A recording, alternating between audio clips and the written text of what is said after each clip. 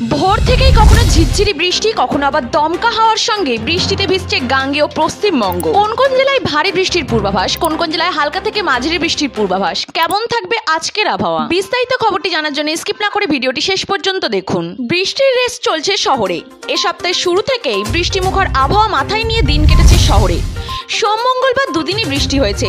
বুধবার সকাল থেকে এর ব্যতিক্রম হয়নি। এদিকে দক্ষিণবঙ্গে এখন বৃষ্টির রেস থাকতে পারে বেশ কিছুদিন। হাওয়া অফিস সূত্রের খবর, দীঘার উপরে এখনও মৌসুমী বায়ুর অক্ষরেখা রয়েছে। মৌসুমী অক্ষরেখার বিস্তার রয়েছে উপকূলীয় সুন্দরবন পর্যন্ত।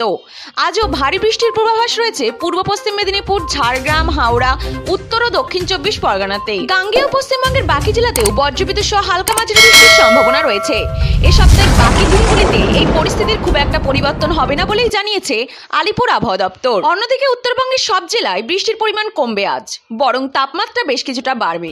স্বাভাবিকের থেকে তিন ডিগ্রি থেকে পাঁচ ডিগ্রি পর্যন্ত তাপমাত্রা বাড়তে পারে উত্তরবঙ্গের জেলাগুলিতে। পার্বত্য জেলায় বজ্রবিদ্যুৎ সহ হালকা মাঝারি বৃষ্টির সম্ভাবনাও রয়েছে। মূলত দার্জিলিং, কালিম্পং, আলিপুরদুয়ার, কোচবিহার, জলপাইগুড়ি এই পাঁচ জেলায় বিক্ষিপ্তভাবে হালকা বৃষ্টি হবে।